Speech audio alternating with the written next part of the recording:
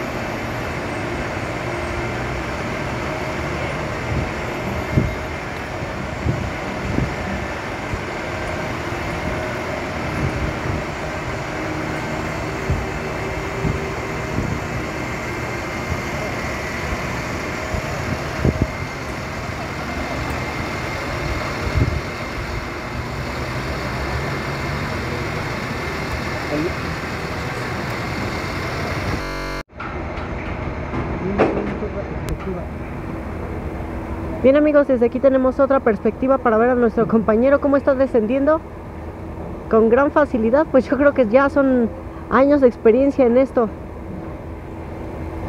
Bien, pues aquí podemos ver cómo nuestro compañero está bajando, se apoya en las vigas de metal y ya descendió. Bueno, pues vamos a ver si nos podemos acercar a él para también hacerle unas preguntas. Hola amigo. Ahorita que baje le vamos a hacer unas cuantas preguntas a ver si nos puede contestar.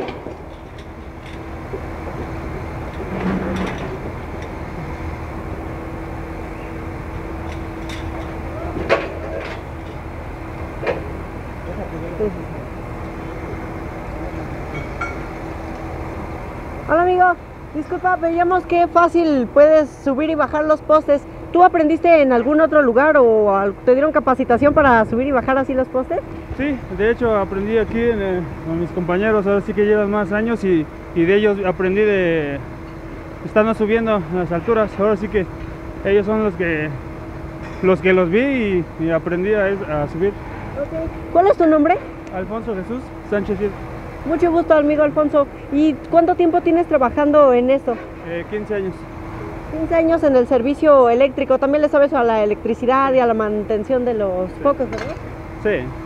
¿Y ¿Nos podrías comentar qué son estos focos que se están instalando? Es- Eso ahora sí que son, son LED, son tiras de LED y es, este, es una pantalla.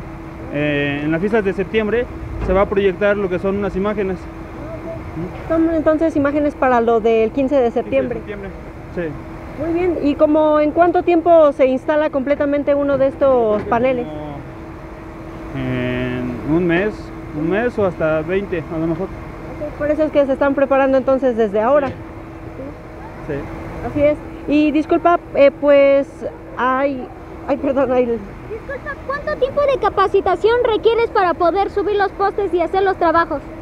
Pues más requiere es de quitarse un poquito el miedo, el querer subir y el querer aprender y no quedarse estando mirando nada más, el sobresalir, el que, el que uno quiere echarle más ganas y, y así sale. ¿Y cuántas iluminarias van a poner en toda la Plaza de la Constitución? En los edificios de gobierno. ¿Cuántas serían? ¿Dos o cuatro más? Una, dos, tres, cuatro, cinco, como siete. Bien, vamos a dejarte nuestro canal. Nosotros vas a encontrar esta entrevista en el canal Shalom Vladimir o 4T, la nueva generación. Ahí nosotros hablamos de toda la cultura de México y de todos los trabajos que tú haces. Te vamos a dejar ahorita una tarjetita.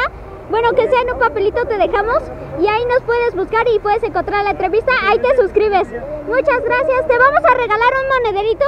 Es que nosotros fabricamos un tipo de monederos, nosotros hacemos fundas y de otro tipo de monederos y te vamos a regalar uno que te va a servir mucho en tu trabajo.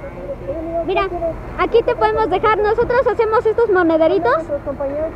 Así es, son de nuestros compañeros youtubers. Ese de México Informa. Estos se atoran en el pasacinturón y se meten dentro del pantalón y así ya guardas tu monedero y tu cambio y tus llaves. Así como mi papá se guarda y se mete. Así es. Sí, muchísimas gracias. Gracias por tu tiempo. Bien amigo, bueno, vamos a hacer un corte y regresamos.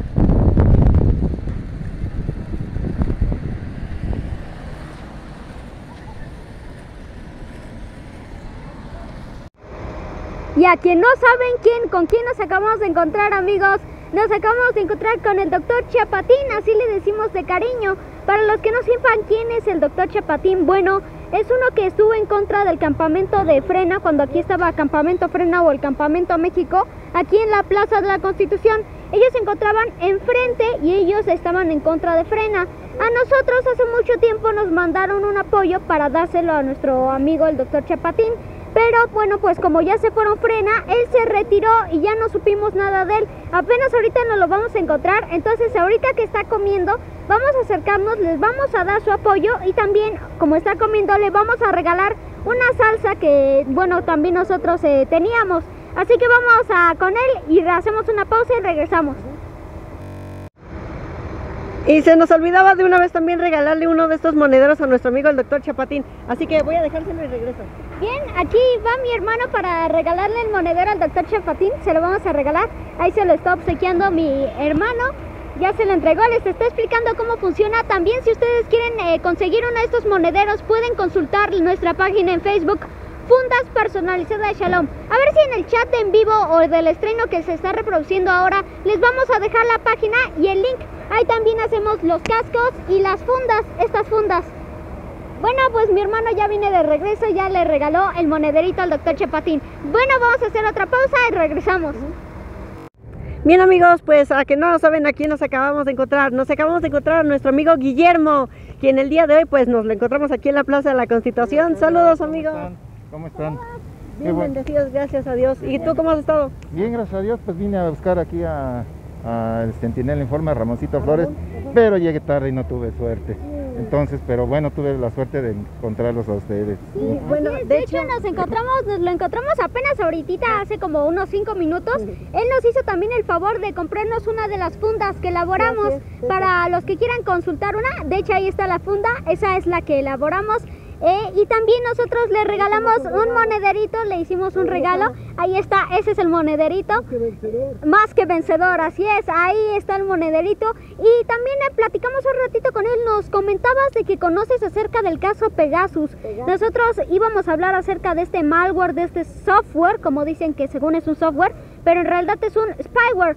¿Qué nos puedes comentar acerca de este virus, de, bueno, de este malware Pegasus, de este programa? No, pues este, en realidad sabemos muy poco, ¿verdad? Porque esto estaba estrictamente eh, dado para las autoridades. Ellos son los que realmente lo manejaban y pues este, no sabíamos en manos de quién estábamos. Hasta donde recuerdo, creo que este señor Felipe Calderón, que no sé qué es en la política todavía, y este Peña Nieto y todos ellos pues lo utilizaban precisamente para tenernos cautivos a todos. O sea, es increíble que todavía tengan que seguir investigando lo que está sucediendo, porque eh, no es posible que adquiramos un teléfono y tengamos ese mismo problema, ya no sabemos en manos de quién estamos, pero además se han ido robando las, las bases de las... Este... empezó justo a chispear, vamos a movernos ahorita, vamos a movernos a los arcos Oh, yo creo que aquí podemos refugiarnos. Es que justo empezó a llover. Se veía un poquito nublado, pero aquí ya estamos refugiados. Bien, bueno, buenas tardes, buen provecho, es que aquí están comiendo. Pero bueno, eh, sí, lo que nos comentas es muy importante. De hecho, apenas ahorita, como dices, la Fiscalía General de la República está investigando también eh, este, el caso de Pegasus. También la UIF, Santiago Nito de la UIF, empezó a investigar de dónde se originó esto. Nosotros tomamos un poco de información porque también como apenas están investigando, no se sabe mucho, como tú mencionas, no se sabe mucho de este malware, de este virus. ¿Qué más nos puedes comentar? Yo creo que hay que empezar explicando pues para nuestra audiencia también para que conozcan un poco el tecnicismo de la informática porque podemos decir malware o software y puede que haya gente que no le entiende. Entonces, pues vamos a empezar a, eh, platicándoles amigos qué es un software. Un software es, bueno, ustedes a través de su pantalla, de su ordenador nos están viendo, ya sea un teléfono, una tableta, una computadora, una laptop. A esos dispositivos físicos se les llama hardware, hard como duro y wear. Es como el cuerpo. De hecho, el hardware es como el cuerpo del dispositivo y el software es su espíritu, es como el espíritu, como su alma. El software se encarga de tener un buen un funcionamiento en el teléfono y se encarga de que el teléfono funcione correctamente, como las aplicaciones, eh, las eh, Android, por ejemplo, eh, aplicaciones como comenta mi papá. Pero una cosa que les queremos comentar es que el malware es un espíritu, es un software, pero corrompido, un espíritu malo, que se oye un poco raro, pero es que así es, porque este malware fue diseñado para en vez de trabajar bien y hacerle caso a su portador del ordenador, él hace lo que él quiere para dañar el dispositivo. Ese es el trabajo de un malware. En este caso, Pegasus no es tanto un malware porque hay varios tipos de malware y es un spyware. Un spyware, spy quiere decir espía en inglés y spyware, bueno, como su nombre lo dice, es un software que te espía, espía tu información, puede ver hasta tu ubicación. Esto va a ser muy importante, más adelante se los vamos a comentar. Bien, eh, ¿qué, más nos puedes seguir comentando, amigo? Pues nada, me quedé sorprendido de cómo sabes, ¿no? Nosotros no tenemos nada más los tecnicismos, pero muy por encimita, ¿no? Y precisamente estos conceptos que das es para conocer más. nosotros tenemos obligación de saber qué es lo que está pasando, ¿no? Y esos tecnicismos son importantes saberlo, ¿no? Ahorita me sorprendió mucho lo que dijiste, ¿no? Es increíble que nos puedan hasta localizar, porque a la hora que compramos un teléfono le damos sí, sí, sí, sí, sí, sí, sí a todo y en ese momento estamos cautivos. Estamos cautivos de las personas o sobre todo de las autoridades. Exactamente. De hecho, también les vamos a dejar una tarjetita aquí de este lado. es una tarjetita, se las vamos a dejar ahí justo ahí arriba. Y ahí le vamos a dejar la tarjetita en el canal 4T, la nueva generación, en donde les vamos a explicar cómo ver si ustedes en su ordenador tienen un malware o tienen este programa Pegasus, cómo desactivarlo y cómo hacer que ya no se meta en su información y que ya no les esté espiando. Bien, te queremos comentar que todo empezó eh, por una empresa llamada NSO Group. Esa NSO Group, así se llama la empresa, es israelita. Eh, vamos a esperar, yo creo que pase la ambulancia, es que justo hay una ambulancia. También se soltó la lluvia, ahí está pasando la ambulancia. Ya casi se va. Ahí está. Bien, ya se retiró la, ambulancia, también ya nos agarró la lluvia, eh, se soltó mucho. Pero bueno, eso no impide que le sigamos contando. Bien, eh, como te comentaba, en el sexenio de Enrique Peña Nieto, esta empresa, NSO Group, creó este malware porque le dio, eh, contrató a hackers para que crearan el malware y supieran cómo operarlo desde su lugar.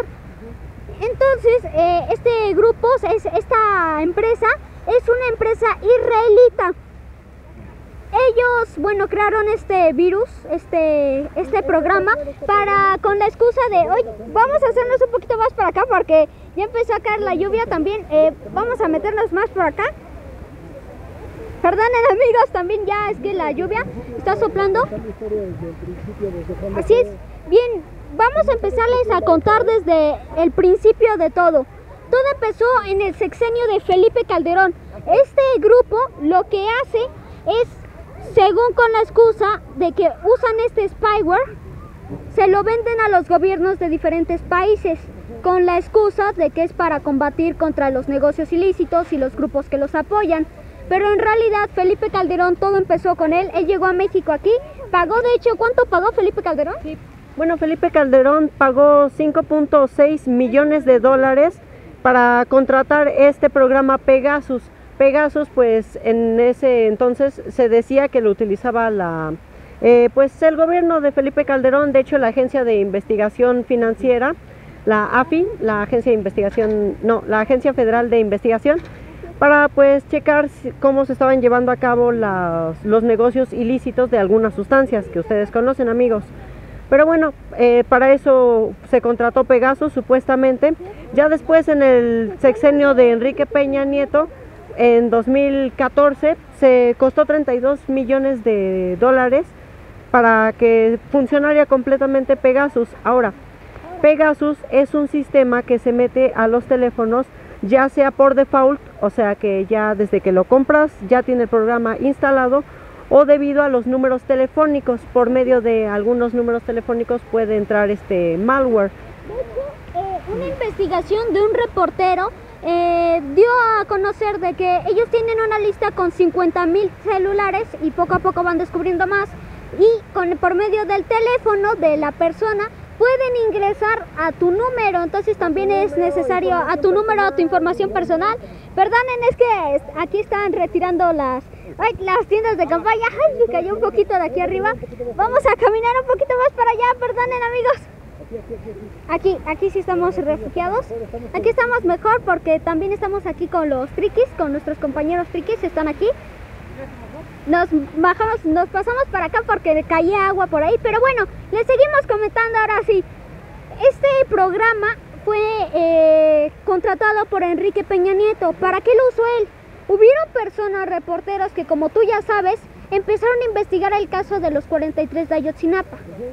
Ellos se pusieron a investigar el caso más a fondo, inclusive Enrique Peña Nieto usó este spyware para meterse a sus dispositivos y espiarlos. El gobierno de Enrique Peña Nieto, el gobierno durante el sexenio de Enrique Peña Nieto se usó para investigar a inclusive a los abogados también, a los abogados de los de los 43 de Ayotzinapa. Después de eso, también hubo un reportero que en el 2017 él se llamaba Cecilio Pineda. Cecilio, Pineda se puso a investigar, ya se dio cuenta de que Pegasus era un malware que le estaba haciendo daño a la población y que estaba siendo utilizado por el sexenio de Enrique Peña Nieto. Entonces él se puso a investigar más a fondo, pero él sabía que algo le iba a pasar, así que para que no lo rastrearan, porque está también el spyware eh, te rastrea tu ubicación, como te comenté hace, hace unos minutos, este rastrea tu ubicación. Entonces él se cambiaba de domicilio eh, y hasta el final sí dio con él, el spyware dio con él y lo eliminaron. Eh, lo eliminaron en el estado de Guerrero en el 2017. no sé si sabías eso. No, no, no, no estaba enterado, pero es increíble entonces el riesgo, ¿no? Pero sobre todo el hecho de haberlos eh, dado a conocer, que eso fue lo que seguramente determinó que lo hayan eliminado. O sea, por no decir lo hayan matado, ¿no? Porque eh, eliminado, bueno, sea un poquito más este más suavecito, pero en realidad... Mm, sí, de hecho nosotros no podemos decir algunas palabras, por eso decimos eliminaron, sí, pero sí, así es, eh, es increíble que pudieron dar con él, rastrear su ubicación, porque de hecho se puso a investigar.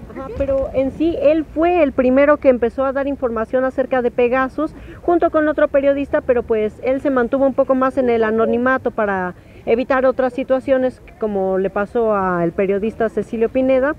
Pero entonces él fue el que empezó a dar esta información. Ya en 2019, no sé si te enteraste de que ocurrió un problema con WhatsApp, con sus políticas de privacidad. Aquí hay que decir algo importante. Nuestro presidente cuando entró, terminó el sexenio Enrique Peña Nieto, él dijo, nosotros no vamos a usar ese malware para espiar a la gente. Y se acabó el contrato. Él terminó el contrato en qué día? Fue el 31 de diciembre de 2018, ya cuando pues entró la nueva administración, ya se acabó totalmente los contratos viejos. 30 días después de que entró nuestro presidente, acabó el contrato. Así es. Pero todo, bueno, pues llegó a México otra vez. ¿Por qué llegó a México? Porque no sé si estás enterado que en el 2019 WhatsApp tuvo problemas con los términos y las condiciones de políticas de privaticidad y esto fue lo que trajo a Telegram. De hecho, muchas personas, WhatsApp por medio de la ley COPA, la ley COPA que es para proteger a los, eh, a los jóvenes, a los niños de YouTube. Entonces, de hecho, multaron a YouTube por esa ley y tuvieron problemas con la ley COPA. Después de eso, eh, WhatsApp tuvo que modificar las condiciones de privacidad. Mucha gente se mudó a Telegram, pero cuando estaban eh, trabajando en cambiar las condiciones de privacidad, WhatsApp tuvo un fallo en la seguridad y eso provocó que el malware, o sea, el malware Pegasus, entrara a todo el mundo y afectara a muchas personas, entre ellos México, a muchos países. Afectó a 15 mil activistas. También me faltó decirles que en el sexenio de Peña Nieto se usaba este malware para investigar a los periodistas que estaban en contra del sexenio de Enrique Peña Nieto o eh, a los activistas que también luchaban en contra. De hecho, no sé si estás enterado que nuestra amiga Blanquita estuvo en contra del sexenio de Enrique Peña Nieto, también Mari Sainz. Entonces es posible que lamentablemente los tengan investigado a ellos y los puedan estar espiando sin que ellos se den cuenta. Eh, este, Marisan. Ah, caray, la esposa de, Israel Vallarta. Ah, ok. es increíble entonces lo que comentas, pero entonces esa falla, porque apenas eh, este año, el año pasado a finales, mucha gente se mudó a Telegram porque eh, cambiaron sus, este, estaban, nos estaban condicionando creo que, WhatsApp, ¿no? Y mucha gente se cambió a Telegram, ¿no?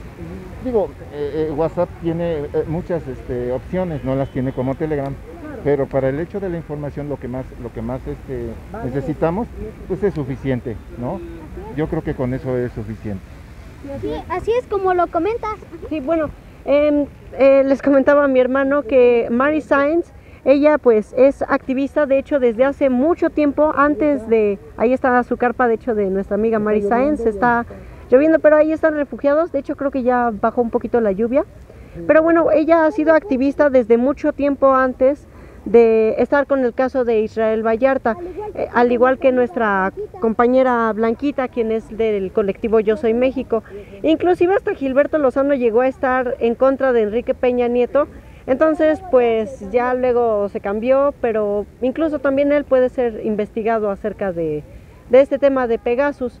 Pero bueno, pues puedes continuar con la historia. Hay una lista inclusive, ¿no? Hay una lista inclusive. Y creo que tenían al presidente como el gallo. ¿no? Y inclusive Víctor Trujillo estaba en esa lista como periodista y algunos otros. No sé si estoy en lo correcto. Pero hablando de esa...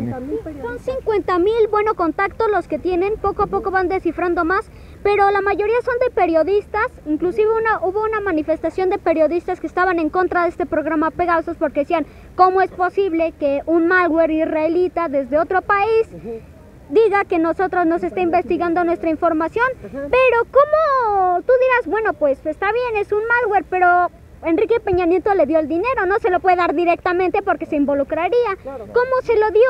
Directamente se lo dio, no directamente, sino por medio, indirectamente, perdón, así es papá, indirectamente se lo dio por dos compañías. Una que se llamaba TechBull. una, que era, una que era TechBull y otra que se llamaba Balam Group Esas, bueno, inclusive estábamos investigando acerca del nombre de Balaam porque nos enteramos que era un hombre israelita e inclusive estaba en la Biblia. No sé si tú conozcas la historia de Balaam. Eh, no, no. Bueno, pues la voy a contar también para nuestra audiencia. Balaam era un profeta de Dios. Re- ahora nos situamos más o menos en el tiempo en que Moisés y todo el pueblo israelita está saliendo de Egipto y se dirigen hacia la tierra prometida. Entonces, Jericó, se dirigen hacia Jericó, llegan a Jericó. Hay muchos pueblos en Jericó y ellos poco a poco van dominando Así cada es. pueblo. entonces llegan a la tierra de los moabitas, de Moab, quien en ese entonces eran regidos por el rey Balak. Balak era pues un rey muy poderoso, de hecho tenía mucha fama alrededor de todo el territorio, pero le tenía miedo a los israelitas porque ellos eran muchos. O sea, es un pueblo que salió de la nada, derrotó a Egipto e inclusive se, se fue multiplicando. que Dios lo multiplicó y Dios lo bendijo, Dios lo bendijo y fue creciendo y dominando territorio por todo Jericó. Entonces, pues el rey Balak eh, era extensionista, así es, fue siendo, Israel fue siendo extensionista. Entonces el rey Balak tenía miedo de que le pasara lo que le pasó a todos los demás reyes que terminaron en manos de los israelitas. Bien amigos, ya regresamos. Perdonen que se nos haya cortado el video, es que estamos grabando con un teléfono pequeño, es de hecho mi teléfono, porque el teléfono con el que antes grabábamos, bueno, se rompió por Mari Sainz y más aparte, bueno, tuvo algunos problemitas, entonces también el micrófono no funciona bien, no pude grabar bien. Aquí, de hecho, en la parte de se partió aquí en el micrófono. Y justo aquí es el micrófono. Así es, afectó, dañado. resultó dañado el micrófono, no podemos meter a macro el micro. Pero bueno, ya seguimos contándoles aquí nuestro amigo ya dejó de llover, a ver si ahorita vamos con nuestra amiga Mari Sáenz. Vamos a acercarnos para dirigirnos con Mari Sáenz. Así es, para que ella nos cuente acerca del caso. Les estábamos contando la historia de Balam, pero nos interrumpió el que ya no podíamos seguir grabando. Pero ya regresamos. Y sí, exactamente como le estabas platicando de la historia de Balam, ¿qué más era? Bueno, continúo con la historia. Entonces Balaam era profeta de Dios. Balak le pidió a sus sabios que qué podía hacer para detener a este pueblo de Israel. Y ellos le dijeron, conocemos a Balaam, quien es profeta, y todo lo que él dice, todas las bendiciones que él dice, se cumplen. Y también todas las maldiciones que él dice se cumplen. Entonces puedes llamarlo para que maldiga al pueblo de Israel y puedas ganarles. A Balak le pareció bien la idea, entonces llamó a los príncipes de, bueno, pues de su región, se me olvidó el nombre, ¿cuál es el De nombre? Moab. De Moab, así de Moab. es, Llamó a los príncipes, príncipes de Moab. Llamó a los príncipes de Moab y ellos fueron a la casa de Balaam. Estaba al lado de un río, Sí. en el- del río Jordán. Del río Entonces, Jordán, con un la- montón de con oro un y de montón de tesoro. oro fueron los príncipes, llegaron y le dijeron, oye, ¿sabes qué? Eh, te vamos a dar todas estas riquezas y gracias. Para que no se Bien, caiga. para que no se caiga. Ah, sí, mejor se lo vamos a entregar el teléfono a mi papá, no se vaya a volver a caer. Pero bueno, entonces llegaron con los tesoros y le dijeron a Balaam, oye, de parte del rey te vamos a dar todos estos tesoros, inclusive más, si tú eh, maldices al pueblo de Israel. Entonces él dijo, "Mm, miren, ¿saben qué? Mejor ustedes quédense aquí en mi casa y voy a ir a consultar con Dios a ver qué me dice. Esa misma noche él rezó y le dijo, Señor, ¿qué quieres que haga? ¿Qué quieres que haga con estos hombres que vinieron? Entonces Dios le respondió que no fuera con ellos porque iban a maldecir, porque querían que él maldiciera a Israel. Pero Y Israel le pueblo ya pero Israel ya le dijo Dios a Balaam que Israel era un pueblo bendito por él, entonces que estaba bendecido, no lo podía maldecir. Claro. Entonces Balaam a la mañana siguiente les dijo, disculpen, pero Dios me dijo que no, así que no voy a ir con ustedes. Así que perdonen, pero sigan su camino y vayan a, con el- a decirle al rey a que no, no voy a poder. Ese, después de eso, el rey Balak, pues enojado, dijo, sí, no, no, no, no, no, no. Entonces, suban el precio del oro, duplíquenselo. Así es. Entonces les dijo, bueno, pues tráiganle más oro y ruéguenle que por favor venga porque si no me van a hacer pedazos. El pueblo de Israel es muy poderoso. Entonces volvieron ahí los mensajeros, los príncipes de Moab. Y bueno, le dijeron esto a Balaam y Balaam dijo, ni aunque el rey me diera toda su casa repleta de oro y de plata, su palacio repleto de oro y plata, no voy a poder ir. No, no, no voy a ir. O bueno, mejor mm, quédense aquí en mi casa y voy a consultarlo con Dios a ver si cambia de opinión. Entonces, en la noche, pues, Dios le dijo, ok, puedes ir, solo que vas a decir lo que yo te diga. Lo que yo te diga es lo único que vas a decir. Balaam dijo, ok, entonces agarró su, su mula, se fue con los hombres y en el camino eh, pues él ya iba muy apresurado de querer recoger la recompensa y ya estaba pensando en, o ya estaba considerando si maldecir o no al pueblo de Israel. Entonces, bueno, también antes de continuar vamos a explicar qué es un profeta y qué es un adivino. Sí, porque hay una diferencia muy grande. Un profeta es una persona que Dios le dijo lo que tiene que decir y eso es va a ser lo que va a ocurrir. Claro, porque se lo eso dijo es lo, porque se lo dijo Dios, porque Dios es omnipo, es omni, es, es omni- omnisciente, exactamente es omnisciente, es omnipresente y omnipotente. Entonces, eh, un adivino es alguien que supone que al que por su propia cabeza, por su propio conocimiento dice tal vez esto ocurra. Él supone. Entonces puede haber un 50% de que sea verdad y un 50% de que sea mentira. Recordemos que si hay un 50% de mentira, es una mentira completa. Así es. Entonces, sígueles contando. Bueno, pues Balaam era profeta, entonces ya estaba empezando a considerar no maldecir al pueblo de Israel y en el camino se encontró con un ángel, pero Balaam no veía al ángel, sin embargo la mula sí. Entonces pues estaba asustada porque vio que tenía una espada así, como en pose de, ataque, y se fue echando para atrás, se fue echando para atrás y Balaam le dice, oye, ¿por qué? Arre, arre, para adelante.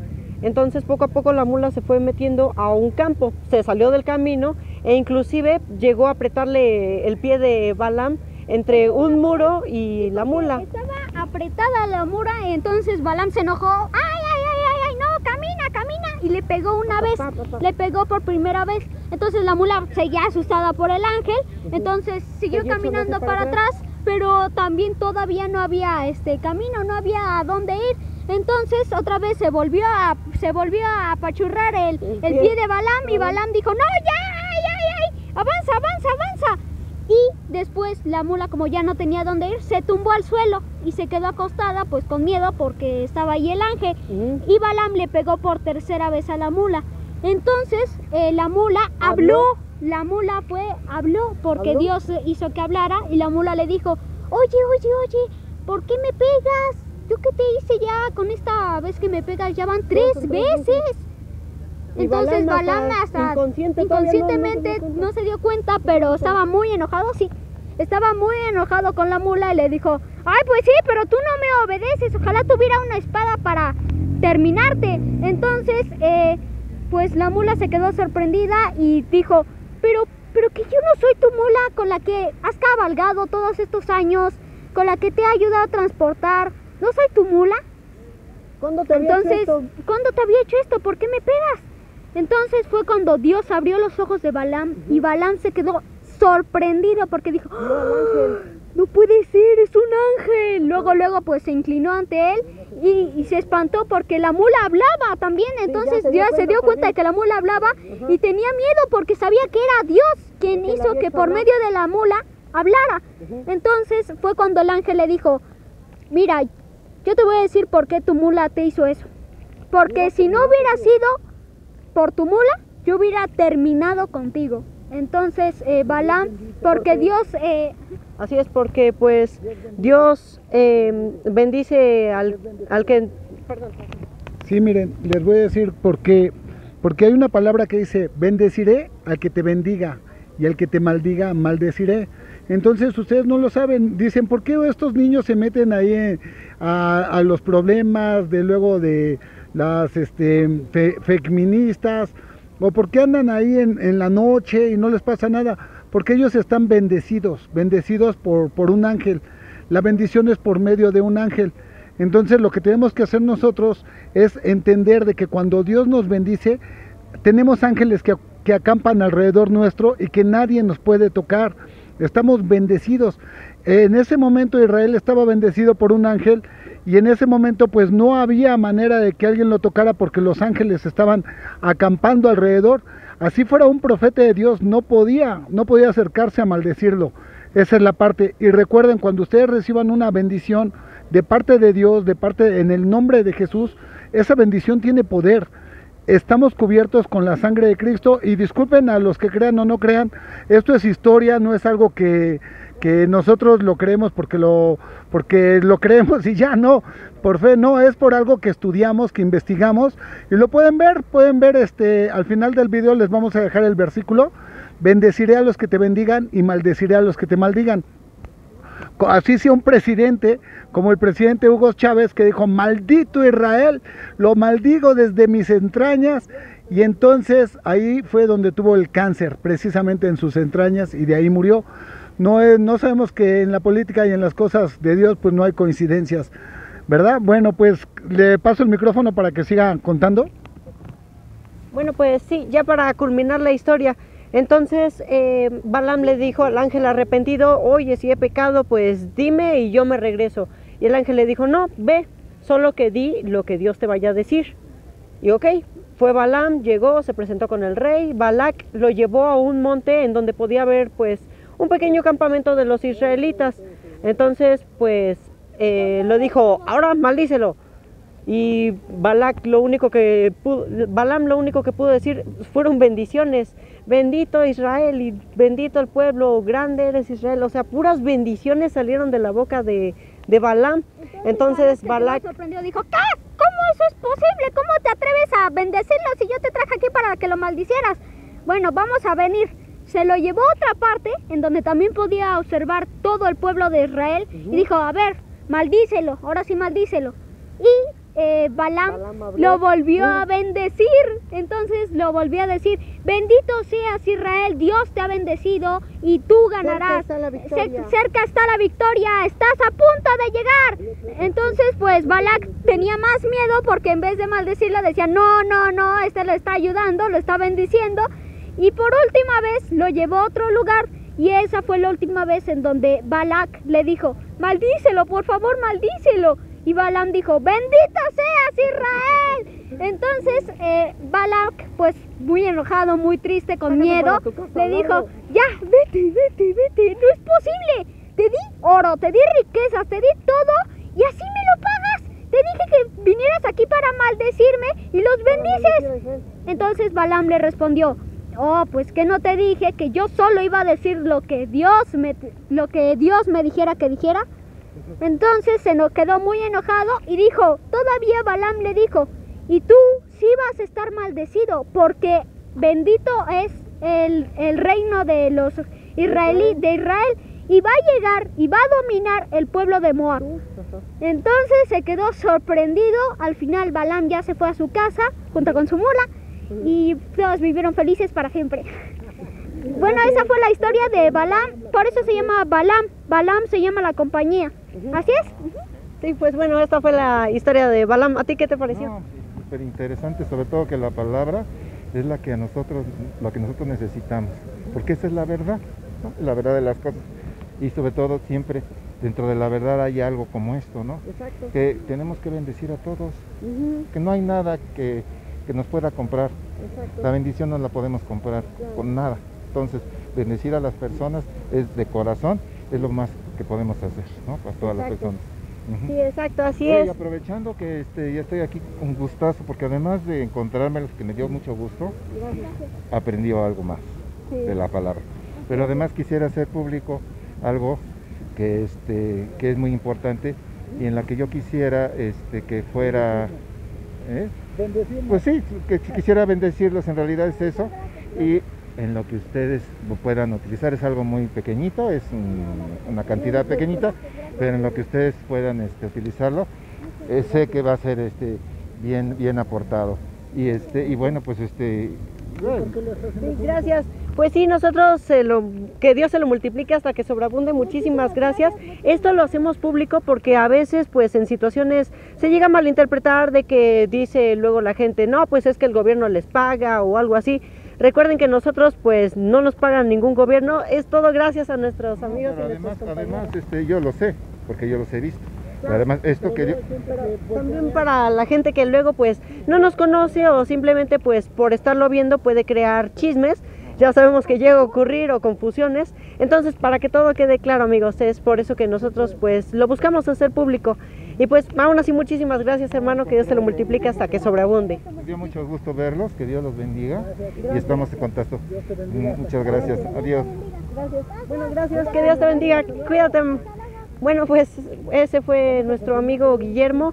Em, vamos a, yo creo que hacer un corte porque otra vez está queriendo chispear, entonces vamos a cubrirnos. Nos vemos amigos. Pues bueno amigos, esa fue la historia de Balam. Ya vamos a terminar rápido con el tema de Pegasus para continuar.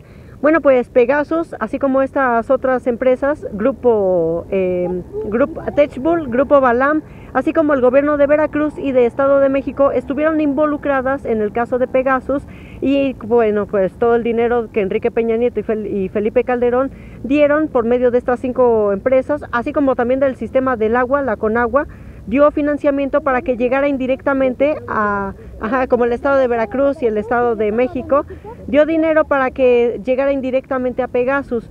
Entonces, pues este financiamiento fue el que se dio y actualmente ya en 2021, pues está investigando, la UIF está investigando este sistema de Pegasus. Nosotros queremos, bueno, comentarles que estamos aquí en la carpa de Mary Science y nos encontramos aquí con nuestro compañero Jorge, que nos comentaba que eh, nos comentabas que Mary Sainz fue a hacer una denuncia de qué, ¿no sabes? Sí, eh, una de las niñas que andan vendiendo, una de menor de edad, la golpearon, la ah, venía toda rasguñada, entonces fue a, hacer una denuncia ya. Ah, pues fue para allá. Ok, pues también les comentamos que está lloviendo, entonces nosotros ya nos despedimos, amigos. Gracias, Jorge. También, gracias, Jorge, gracias por la información. Queremos comentarles rápido que si ustedes quieren un que si ustedes quieren sacar este malware, quieren sacar a Pegasus, o si saben, quieren saber si tienen algún tipo de malware, algún tipo de spyware, les vamos a dejar una tarjetita en donde el video de 4T, la, nueva generación, les mostramos cómo quitar este malware y cómo defenderse en contra de, de, cualquier otro. Así que gracias a todas las personas que nos vieron, muchísimas gracias, por su apoyo y nos vemos hasta la próxima. Hasta la próxima.